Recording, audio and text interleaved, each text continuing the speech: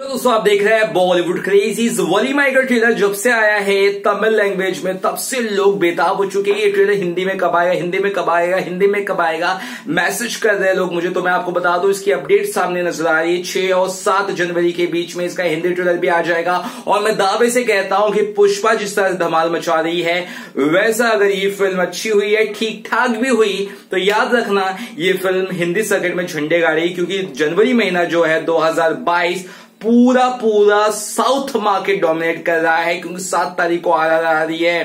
और उसके बाद तेरह तारीख को वली माई और चौदह तारीख को राधे श्याम एंड देन भी है साउथ का पिटारा, क्योंकि पृथ्वीराज को कोई रिस्पॉन्स समझ में नहीं आ रही, पृथ्वीराज आ रही कि नहीं?